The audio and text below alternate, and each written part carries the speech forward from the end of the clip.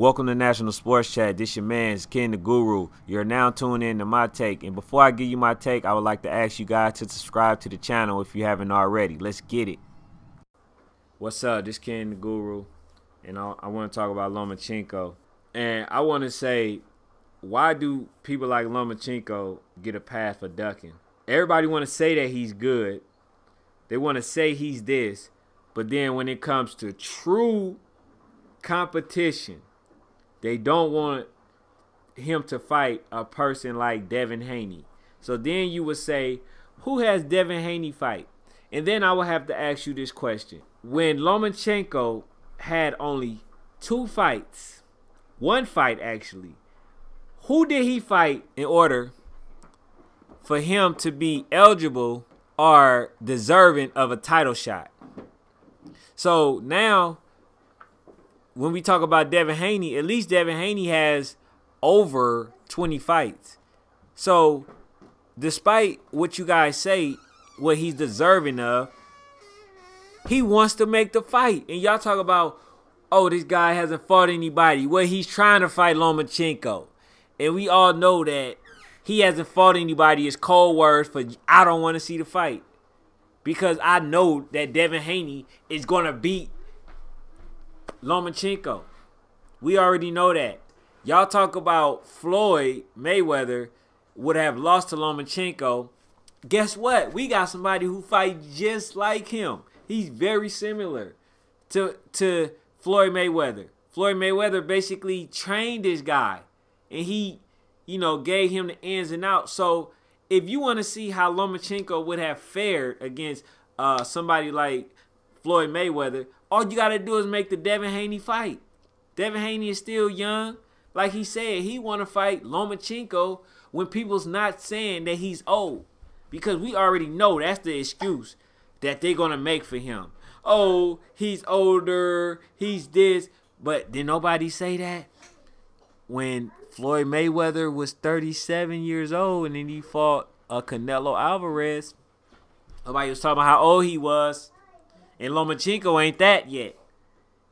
And so what is the problem with Devin Haney trying to fight a, a, a great caliber of fighter?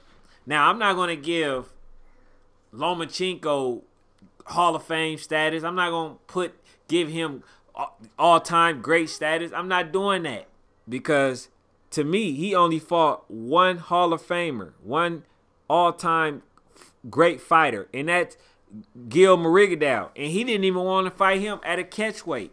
He basically took um, Guillermo Rigondeaux to uh, deep ends, you know, and then drowned him. But he didn't want to make it even.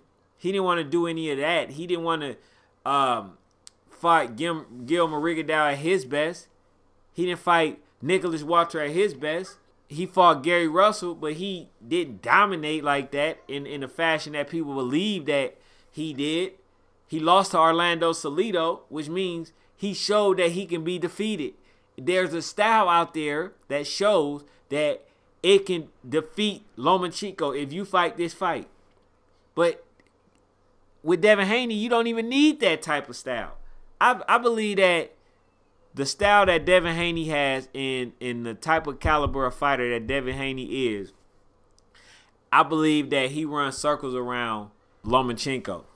I believe so. Some people might get mad just for me having this opinion, but I truly believe it. And the only way that we can see who's right is by making the fight. So don't sit there and say,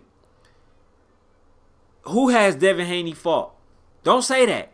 Because when you say that, it delays the fight and it gives the fighter a, a, a outlet. Because Lomachenko already stated that he wants the fights that the fans want. Okay, if you clamor for that fight, guess what? The fight will happen. And you will see Lomachenko get the brakes beat off of him. And I'm standing by that. And if that doesn't happen, I will give Vasily Lomachenko all the props in the world. And I still give him somewhat of the props, but basically what he's doing is the same thing that Canelo is doing. Going to the division and not fighting the best people that's in that division. He's not doing that. So he's getting ready to fight Teofimo Lopez, but I think Teofimo is actually a good enough fighter. So I still give Vasily Lomachenko, um, you know, props if he beat him because he's a young, hungry fighter. He just beat Commey. Uh, Lopez is is on the rising. He the only thing that I would say that Lopez uh, lacking is experience. So the fact that Vasily Lomachenko has a little more experience far as uh, fighting the type of fighters and caliber fighters, you know, he has a little more experience from that aspect. But I definitely think that uh, if he stays focused, that Teofimo Lopez can definitely pull it off. If not, I know Devin Haney can for sure pull it off. So I'm not saying it because I want uh, Vasily Lomachenko to just lose. No, I just want people to have him prove exactly what they say he is. Because he only had what 15 fights and everybody tried to get him a Muhammad Ali status when they would never give not one black person that title. They would never give one black person that title because when Errol Spence was getting validation from Floyd Mayweather, they was talking about how he didn't fight nobody. And when you guys want to talk about Vasily Lomachenko resume, I just want you to go down person by person, boxer by boxer, fighter by fighter, right? And let me know all the Hall of Famers that he has on his record, on his resume. Because Gary Russell Jr., not a Hall of Famer. Nicholas Walters, not a Hall of Famer. Campbell is not a, a Hall of Famer.